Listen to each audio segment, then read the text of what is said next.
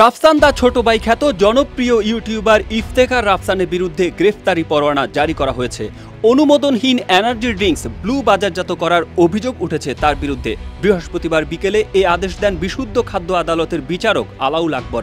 এর আগে blue drinks পানীয়টি অনুমোদনহীন হওয়ায় বিশুদ্ধ খাদ্য আদালতে আবেদন করেন নিরাপদ খাদ্য কর্তৃপক্ষের খাদ্য পরিদর্শক মোহাম্মদ কামরুল হোসেন।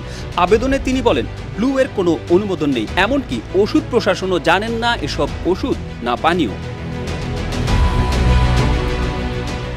ইফতেকার রাফসানের ব্লু ড্রিঙ্কসের অননুমোদিত একটি কারখানায় গত চব্বিশ এপ্রিল অভিযান চালায় ভ্রাম্যমাণ আদালত। গোপন সংবাদের ভিত্তিতে কুমিল্লা বিসিক এলাকায় অভিযান পরিচালনা করেন জেলা প্রশাসন ও বিএসটিআই এর ভ্রাম্যমাণ আদালত।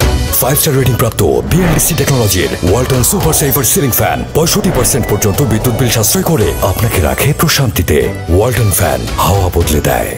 এ সময় প্রতিষ্ঠানটিকে নিবন্ধন ব্যতীত ইলেকট্রোলাইট ড্রিঙ্কস, পণ্য প্রস্তুত, মোড়কজাত ও বাজারজাত করায় ত্রিশ হাজার টাকা জরিমানা করা হয়। জানা যায়, গত বছরের সাত ডিসেম্বর ব্লু নামে ইলেকট্রোলাইট ড্রিঙ্কস ব্লু বাজারজাত করার ঘোষণা দেন আলোচিত ইউটিউবার রাফসান।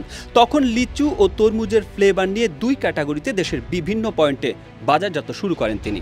রাফসান দা ছোট ভাই একজন কন্টেন্ট ক্রিয়েটর সেই সুবাদে হয়ে উঠেছেন একজন ইনফ্লুয়েন্সারও সর্বশেষ রাফসান আলোচনায় আসেন মা বাবাকে গাড়ি উপহার দেওয়া নিয়ে। গাড়ি উপহার দেওয়ার পর সামাজিক যোগাযোগ মাধ্যমে সবাই যখন ইতিবাচক মন্তব্য করছিল, ঠিক তখনই একজন সামনে আনেন নতুন এক তথ্য, যা নিয়ে সামাজিক যোগাযোগ মাধ্যমে রীতিমতো তাণ্ডব চলে। আর বিষয়টি হলো, রাফসানের বাবা ব্যাংক থেকে আড়াই কোটি টাকা ঋণ নিয়েছেন, সেটি বেড়ে হয়েছে সোয়া তিন কোটি টাকা। রাফসান চাইলে গাড়ি না কিনে বাবার কোম্পানি নেওয়া ব্যাংক ঋণ শোধ করতে পারতেন। কারণ রাফসান তার বাবা মাকে যে গাড়ি উপহার দিয়েছেন সেটি জার্মান কোম্পানির আউডি গাড়ি। ইউরোপ আমেরিকায়ও এ গাড়ি বিলাসবহুল হিসেবে দেখা হয়। বাংলাদেশেও খুব কম মানুষের কাছেই এ গাড়ি আছে।